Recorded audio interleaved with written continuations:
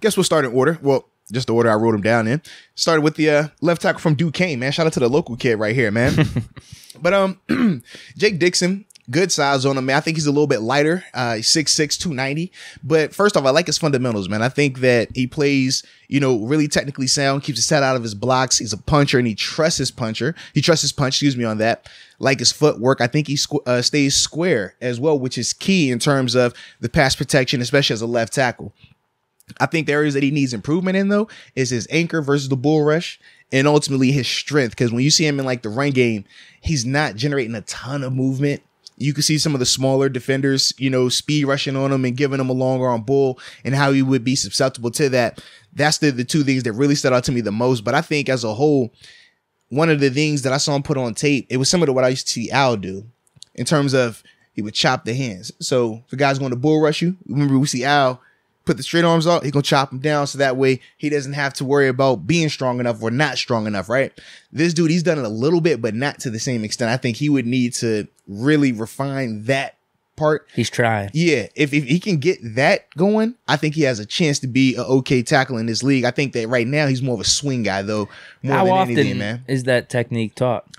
Honestly, man, the first time I had saw it taught was when Tunch uh, and, and God rest, uh, God bless Tunch soul as well, man. But um, when I saw Tunch teaching it to Al, I had never seen it, and even playing, I had never really played against somebody to do it against me in terms of like really weaponizing a consistent two hand chop as a offensive tackle. Most of the time, they want to punch, and then after they punch, they want to grab and close up that space.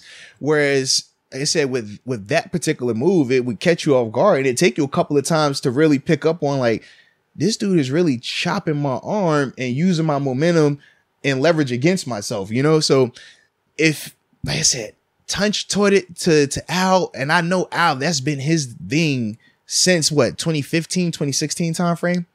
But I'm sure it's got to be other people that are using it, or at least they can put that on tape for Jake and say, hey, look, man, this is what you need to learn. This is what you need to practice. Kind of like Debo's rip move. It was like, man, you see Debo doing that, everybody started trying to learn. How do you just like you know, like that's that's the process with it. So for me, I think of Jake in a similar vein because his frame would allow him to do it because of the length that he has. But at the same time, I think that he has to figure out a counter to guys bull rushing him because right now I don't think he has a uh, an effective way to stop that rush. And if you can't stop that rush in the NFL, they're gonna kill you. Yeah.